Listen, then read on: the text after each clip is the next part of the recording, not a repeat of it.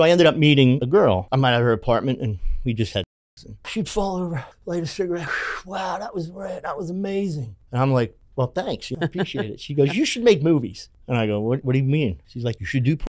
And I said, nah, you know. And she's like, you would do well. I mean, you're built well. And she says, I've actually been to California a number of times and I've done a few movies. And I'm like, get out of town. She's like, yeah. She went by the name of Casey Bray. So she says, I go to California once a month for 10 days and I shoot. And if you want to go next time, I'll take you. And I go, well, I'd, I'd have to miss work. She goes, I'll tell you what, I'll, I'll give you the money to miss for work and you come with me. Wow. She really believed in you. Yeah. I said, oh, Yeah. oh, well, okay, fair enough. I can't turn that down, right? So next thing you know, we're on a plane and we're flying to California. We land and I got her suitcase, I got mine, and we go to like a Vivid. She goes in and I sit off to the side and then they have their conversation and they say, so what do you do? Well, I do this. I don't, you know, the whole, I don't do this. I do that or whatever. The guy would say, well, that's great. Well, we're going to book you for some scenes. Who's that?